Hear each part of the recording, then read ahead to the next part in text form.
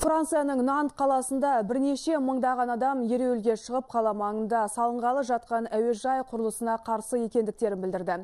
Наразылық акциясына шамамен 20 мыңға жуық адам жиналды. Мұнан бөлек тракторға мінген тағы 400-ге тарта фермер келіпті. Олар әуежай орналасатын жердегі 11 жанұяның көшірілуі мен оған жұмсалатын қаржының тым көп екені және экологиялық жағынан зияны келетіндігін айтып отыр. Шевре көпірін жауып тастаған ауыл шаруашылығы ұйымның өкілдері.